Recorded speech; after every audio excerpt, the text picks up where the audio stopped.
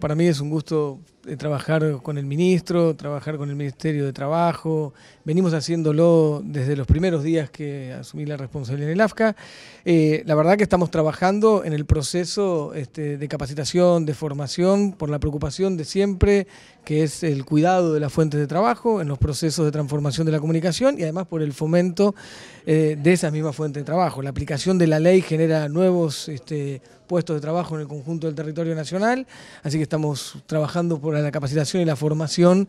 de esos nuevos trabajadores y trabajadoras. Y lo que estamos haciendo hoy es que estos cursos de capacitación, de formación, que estamos realizando y también que seguimos potenciando y que hacemos juntos con el Ministerio y algunos que también desde el AFCA se realizan, bueno, que estén homologados para ser parte del, del proyecto de Progresar, del programa Progresar, o sea que nuestros pibes y nuestras pibas tengan también el acompañamiento del Estado en el programa Progresar para seguir avanzando y seguir construyendo su futuro. Así que esto es lo que estamos haciendo, es seguir trabajando juntos eh, para garantizar a nuestros pibes y pibas en el mundo de la comunicación, en este caso, que cuando hacen ese esfuerzo de estudiar, de capacitarse, de formarse, con este, la presencia del progresar, puedan mirar con más entusiasmo también ese futuro. Como decía bien Martín, nosotros venimos trabajando juntos y la verdad que es un ejemplo de articulación. A mí me gusta destacar cómo venimos trabajando con el AFCA, porque comenzamos con aquella bendita cuestión de que planteaban de que la nueva ley de medios,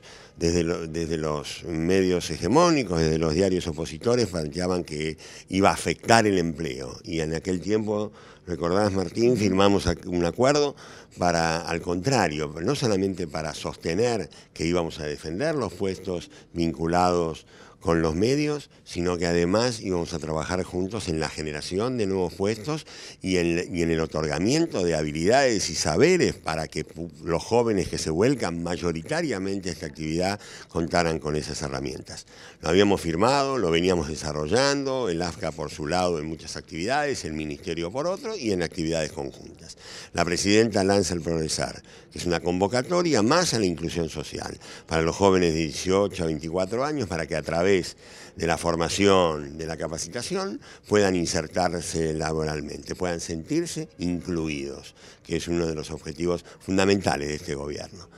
Bueno, nos pareció que poder potenciar el trabajo con el AFCA que se desempeña, se mueve en un escenario muy requerido por los jóvenes, muy, muy, muy buscado por los jóvenes, esto lo hemos detectado eh, en todos los años que venimos trabajando, era una forma de ampliar más que la simple firma o cuatro cursos, es dar muchas más oportunidades a jóvenes que quieren acercarse a este mundo de los medios, al mundo de las industrias culturales, porque muchas de las actividades que viene haciendo el ASCA trascienden el específico eh, ámbito del medio, a veces se piensa en el medio audiovisual como solamente radio o televisión. el campo es mucho más amplio y nos parecía que para nosotros era una forma de eh, ampliar la oferta para todos los jóvenes.